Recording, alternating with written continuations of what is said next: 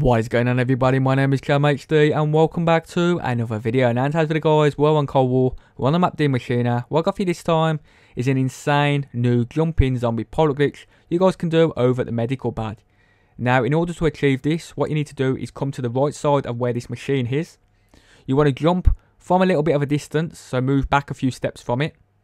You want to mantle up, and as you mantle, you want to hold the button back a little bit, so you're kind of mantling, but you're not going forward too much. You're kind of mantling, so you're sort of like edging off it. Now, if you do mantle on here and you think you're in the right position and the zombies climb over the railing, like you see there, and then they climb back up on the machine, then you're in the wrong position. So you just want to drop down, jump from a distance a little bit, mantle up, and then hold back just a little bit and you'll know you're in the right position because the zombies were probably below you. Now, I recommend doing this with only one zombie left or maybe two zombies left.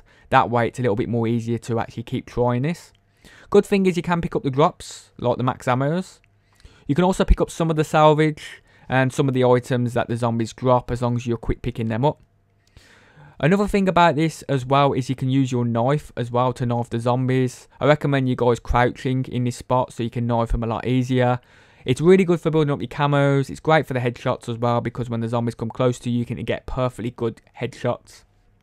Other thing about this, what's really, really good, is that the Megaton, here will just spawn in and he will pile up at the other side of the window or the zombie spawn, uh, which is absolutely insane. I'm just going to jump off here, as you can see here. I'm going to let the Megaton come into the actual map here. I'm going to jump back on it and show you exactly what happens when the Megaton is in the map. So you can see here, you jump from a distance, mantle on, Perfect, just like that.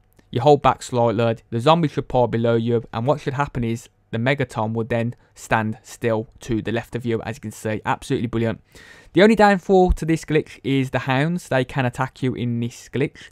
They'll just jump up and they'll attack you. So I recommend you guys just take care of them as soon as you see them. Um, also, if you guys want to achieve the social distancing, you can with this glitch. Just make sure that you do not turn on the power and you'll be able to achieve that because if you don't turn on the power, the hounds and the dogs won't actually spawn in, which is absolutely brilliant. Now, also, I just want to say a big shout out to the founder before I actually finish this video. Go check him out. Absolute awesome guy. His name is Freight.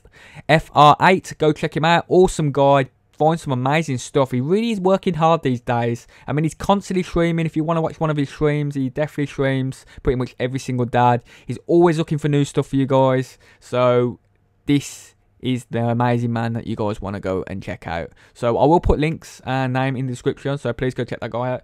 And I will see you guys on my next video. It's been your boy, Channel HD, and alright. Bye bye.